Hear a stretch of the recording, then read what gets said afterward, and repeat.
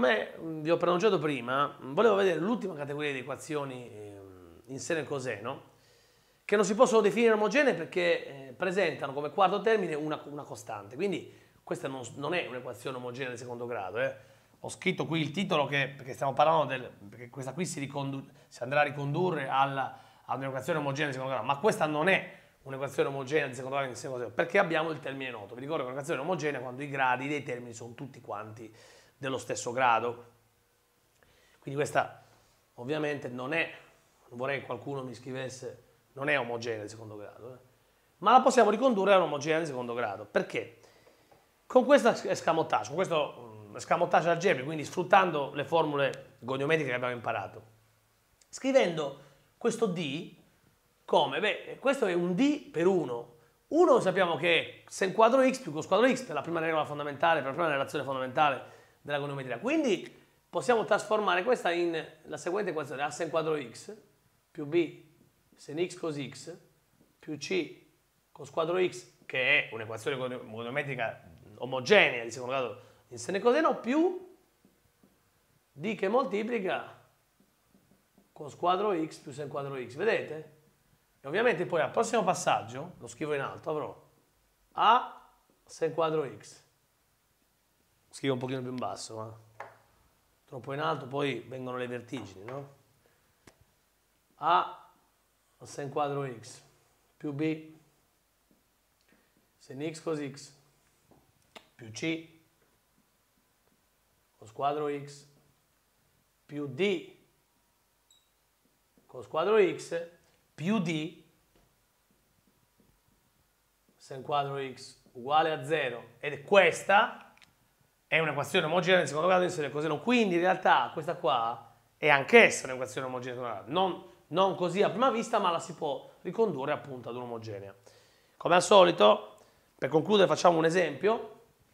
Ovviamente la risoluzione è la stessa. Si andrà a dividere tutti i membri i due membri dell'equazione per cos quadro x, supposto coseno di x diverso da 0, quindi supponendo x diverso da piego mezzi più k pi greco. Supponiamo di voler risolvere per esempio questa. Radice quadrata di 3 che moltiplica cos quadro x meno seno di x coseno di x uguale radice quadrata di 3. Allora, Ovviamente questa è completa, possono mancare dei termini. Qui, come vedete, mancano. Ora, vi ricordo che il nostro caso iniziale è questo qua, eh? Quindi c'è D, poi dopo io faccio quel, quell'escamotage, ma io inizio così. Come potete vedere in questo caso abbiamo che C è radice di 3, A è 0, B vale meno 1, D vale meno radice di 3, perché questo lo porto a sinistra e varrebbe meno radice di 3. Quindi Ripeto lo stesso procedimento fatto eh, negli esercizi precedenti, cioè anche in questo caso vado a scrivere quello come, allora riscrivo radice di 3 con squadro x, applico quindi quel metodo che ho mostrato poco fa. Oh, questo è meno radice di 3 uguale a 0, quindi scrivo meno radice di 3 con squadro x meno radice di 3 se quadro x uguale 0. Ripeto, ho scritto radice di 3 come? Radice di 3 che moltiplica cos quadro x più se quadro x. Ma la radice di 3 che moltiplica cos quadro x più se quadro x è la radice di 3 cos quadro più radice di 3 sen quadro. Portati a sinistra, ovviamente sarà meno radice di 3 cos quadro meno radice di 3 sen quadro. Ma adesso che succede? Succede una cosa fantastica. Succede che questi due si eliminano, vedete? E allora cosa, cosa ottengo? Ottengo un'omogenea di secondo grado, ma mancante questa volta, attenzione, di C.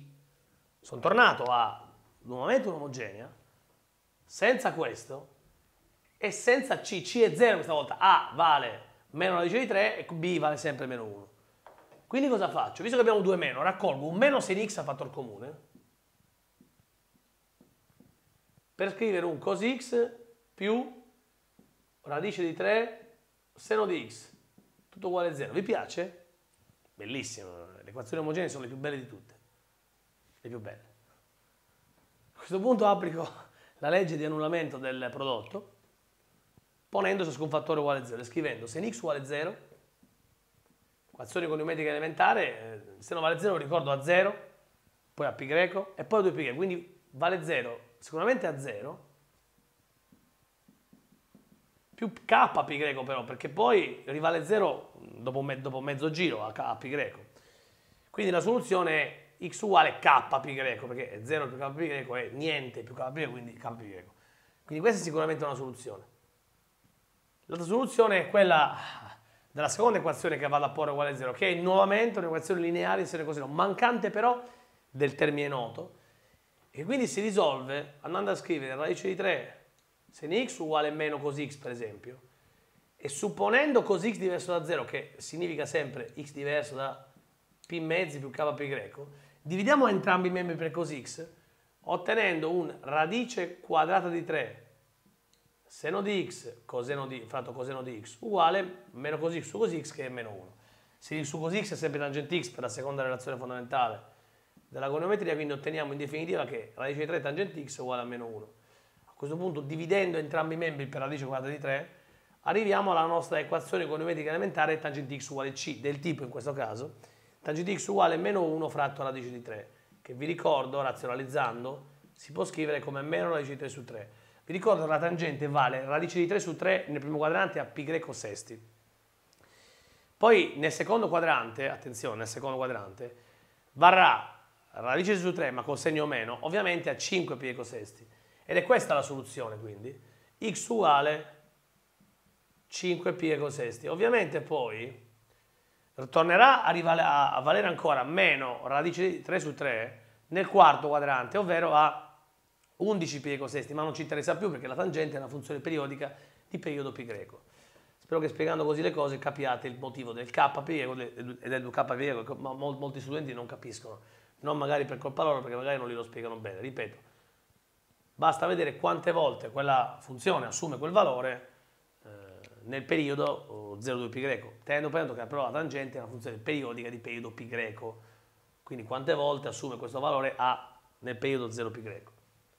Ecco qua, l'unione di queste due soluzioni, che quindi sono x uguale k pi greco, unione x uguale 5 pi greco sesti più k pi greco, ci fornisce la soluzione nostra, del nostro esempio proposto che ci serve a spiegare l'argomento che abbiamo trattato. Bene, abbiamo concluso davvero, abbiamo finito questa lunga carrellata di spiegazione sulle equazioni goniometriche elementari e non, abbiamo visto.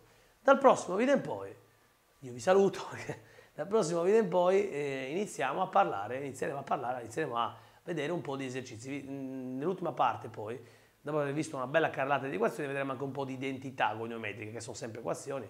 Risolveremo come al solito un po' di esercizi dati dal testo degli autori Bergamini, Fore e Barozzi, così eh, per cimentare ancora meglio il...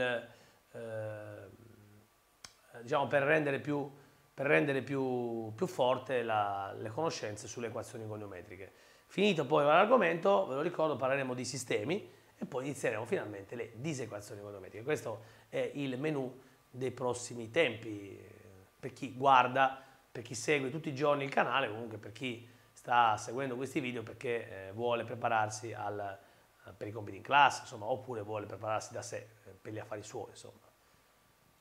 Vi saluto, alla prossima, prossimo video, ciao!